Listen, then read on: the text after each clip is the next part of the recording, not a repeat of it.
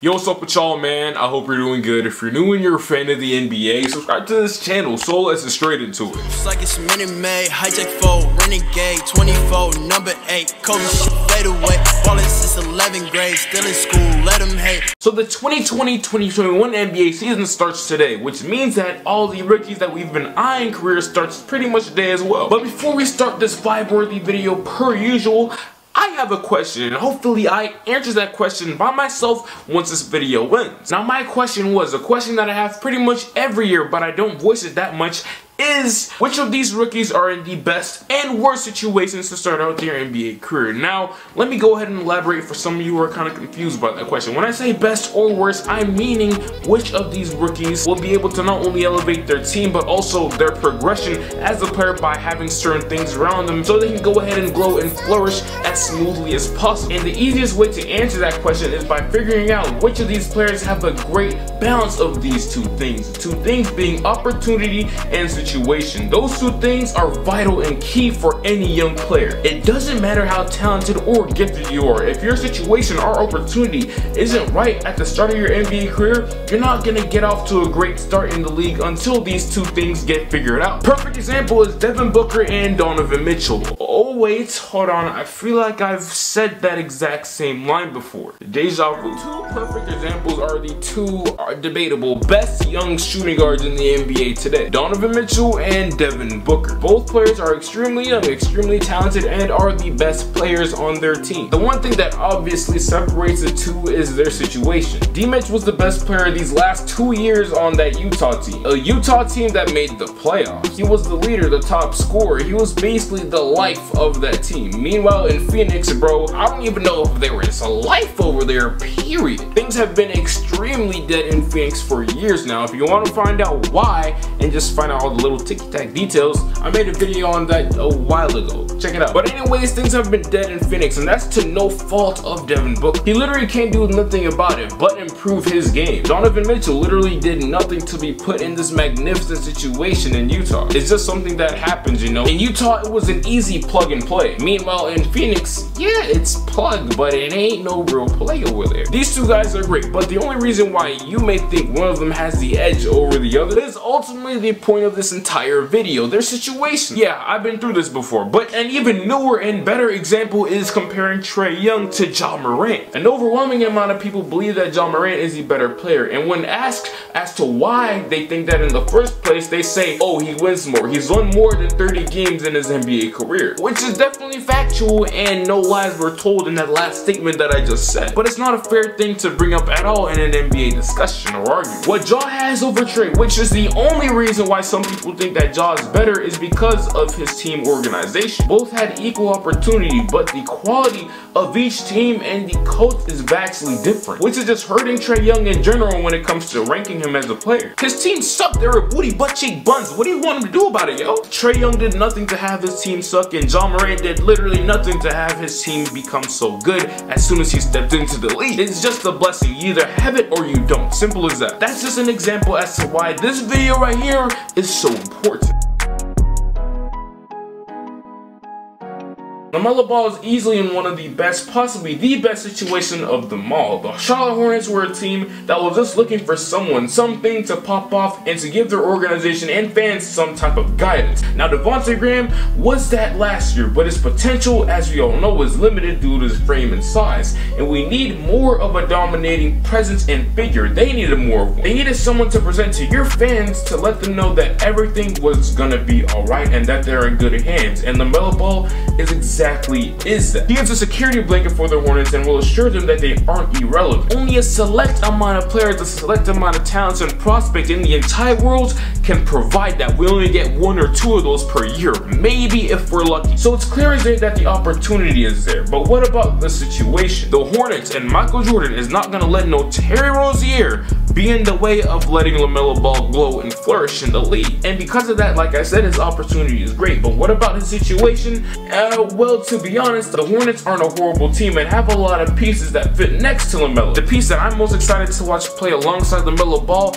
is Miles Bridges. Miles Bridges is exactly the type of 4-3 that LaMelo Ball loves to play with. This man is a slasher and he rises above the rim to go ahead and slam dunk on your favorite team. Their little duo and their ongoing great chemistry is what's going to make the Hornets exciting. Now outside of that, I love Devonte Graham's fit alongside LaMelo Ball. I feel like as the season goes on, they're going to play alongside of each other and they're going to feed off of each other really well since they both can shoot. Devonte Graham is more of a shooter right now compared to LaMelo Ball, but they both are very capable shooters and some of the best passers or one of the better passers in the NBA at least. And then when it comes to the rest of their roster, Gordon Hayward, of course, he's very injury prone. He just like broke one of his fingers. Once he gets back healthy, of course, he's a great fit on the court alongside just about anybody in the NBA. He has virtually no glaring holes in his game. He can shoot, a solid defender, solid rebounder, he can pass the ball, and also he's very versatile on the court. Whatever you want him to do, he can pretty much do at a respectable rate. Then there's guys like PJ Washington, who was a very quality second, maybe third year player now in the NBA and of course their big man Cody Zeller, the Yeller, you're ruined if you get that reference. With all that being said about LaMelo Ball in this icy so cold great situation, I ain't gonna lie, I'm gonna have to say that he is in one of the best situations period in the NBA. It's not gonna be nice or convenient for LaMelo Ball to be good for the Charlotte Hornets this season. No, they're going to need him absolutely to be good. And that right there is something that I sadly cannot say about Anthony Edwards just because of the team that he got picked by, the Timberwolves. Anthony Edwards is a tough one to decide because he's on a good team that has a good situation ongoing for the most part. They have a lot of players that fit well together, but I cannot see Anthony getting a lot of shots or opportunities just so easy because they just paid that maniac named Malik Beasley a big bag, and I ain't gonna lie, he's not only crazy off the court, but on the court, he's something different too. Man is, is a bona fide shooter and a great offensive player who's just too good to sit on the bench for right now until Anthony Edwards has something to say about it. Nothing will change about that until Anthony Edwards proves his defensive versatility, proves that he can be a great secondary passer and also a good shot maker as well. But long story short, at the end of the day, to come to a conclusion, whatever ending that you want, he is in a good spot. His peak in the NBA is being the third best player on a championship team, max second option, which is what he is. It'll just take a good amount of time for him to break through because Beasley is just not no scrub. He's in one of the best situations. I just can't see him winning Rookie of the Year or piling on too many accolades or maybe even making hella all-star appearances like LaMelo Ball will. Next up is James Wiseman. I'm pretty sure that we can keep this short and that's for known reasons. Man is playing with Steph Curry, Draymond Green, and he has a Klay Thompson who will be praised up for Klay again back once again next season. He's in a really good situation. The great thing about the Warriors is that in the next three to four, maybe five years, they're going to be a rebuilding team once again. And James Wiseman could be in the forefront of that if he just goes ahead and proves all the naysayers about him wrong and shows a little bit of ball handling, a little bit of shot making, not only from the mid-range, but the three-point line too,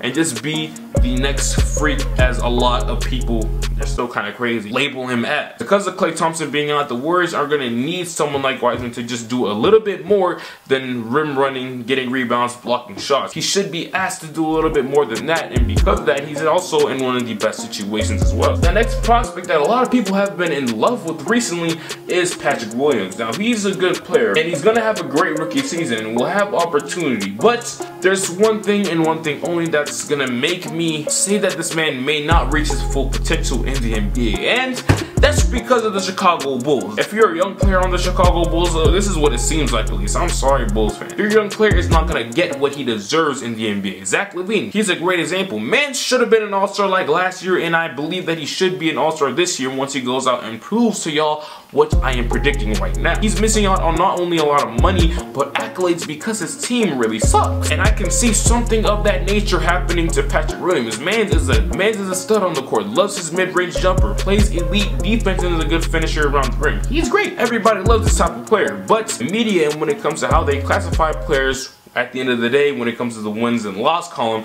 they're going to think that he's mid or that he's just not that great. And for that, I'm saying that he is in a bad situation, but that's to no fault of his own. He literally has no control of any of that. The Bulls just have not proved themselves yet to be a responsible and respectable organization in quite a while, but hopefully that'll change soon. The next man up is Big O on the Atlanta Hawks. Because of our front court situation, there isn't much opportunity out there for him yet, but because of the situation and because of what a lot of people are speculating speculating out there that John Collins may be traded, even though I think Clint Capela may be traded. We're gonna have Big O start for us at the five spot one day. Regardless of the fact, a lot of people are speculating that he's not gonna get a lot of opportunity just yet, but maybe next year or year three into his NBA career. So he's in a good situation, a great situation, but the opportunity just isn't there yet for him. I can trust them unlike the Chicago Bulls. Next up is Obi Toppin. Now here's the thing, I like Obi Toppin. Over in the past in this channel, it may have seemed like I hated him. I don't hate anybody, I don't hate any prospects, but one thing that I do love about Obi Toppin is his fit on the New York Knicks. It's perfect. He fits the timeline and the main characters of the New York Knicks story in the making, but then again, I ain't gonna lie, they are the Knicks, and the Knicks do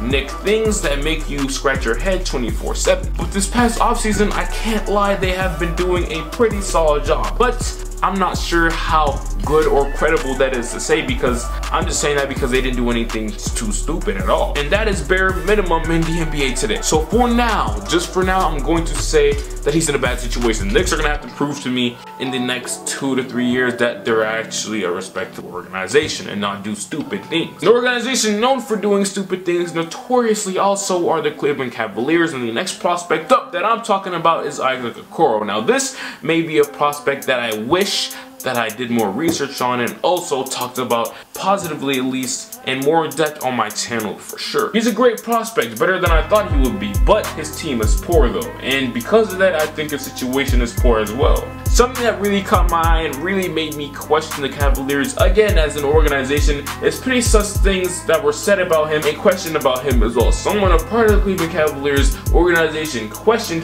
whether or not he can play the wing position, 2, 3, or maybe even 4 nowadays in the NBA. I don't know, like, what is the thought process of going in between this? Like, did you just start watching basketball today? Because anybody, literally anybody, could have answered that for you in the quickest way possible. So them even doing that already scares the living hell out of me, and it kind of sucks to see that he is going to have to go through some type of struggle in order to shine as bright as his peers and he's going to have to bust his behind in order to be mentioned as a good player. So he's in a poor situation if you ask me. Another wing that I was hot and cold on is Deni Avdija. That man is in a great situation he also has great opportunity to go ahead and flourish in the NBA. Now I don't think Deni Avdija is the type of prospect that you'd want to go ahead and give the full keys to your offense and your organization but he's the type certainly that you'd expect to work his way up and earn his respect rather than just giving it to him because he was a college or in this case international sensation. Then he has one of the best players, two of the best players in the NBA in Bradley Beal and Russell Westbrook, former MVP, to go ahead and look towards when it comes to advice and just how to play the game of basketball in general. So that's great and that's something that literally none of these rookies have on their team and Deni's knowledge of the game can be next level. The last prospect that I'm going to talk about right now is one of my favorite again, again Cole Anthony. I've been saying over and over and over and over again. I even made a video about how this man could be the steal of the NBA draft and he's really slept on because of all the BS that he went through back in college. He's in a great situation and just like LaMelo Ball, his organization will only go as far as Cole Anthony can take. He is the most important component on that roster. I don't give a damn what nobody tells me. I don't care. I don't care. If Cole Anthony ends up being mid, then the Orlando Magic two, three years from now, depending on how they do in the NBA draft and stuff like that, will be a mid organization as well. If Cole Anthony is going to be a star, averaging 20, 23, 24, 25 points per game in the NBA one day, are going to be towards the top of the league once again. The situation is great because they have so many seasoned vets alongside a combination of good young players. And mentioning, speaking of good young players, Markelle Fultz, he just got paid the bag. Congratulations to him. But I want you guys to make sure and take note that it's not a crazy long-term bag or a four-year deal. It's only a three-year deal, I believe. And I think that Cole Anthony, everybody in this organization and these fans should be well aware that he can easily take Markelle Fultz spot as the starting point guard, and I believe Fultz will be perfectly fine with that. The type of money that he just got isn't the type of money that makes you super secure with your spot on the organization. What's understood over there in Orlando doesn't have to be said.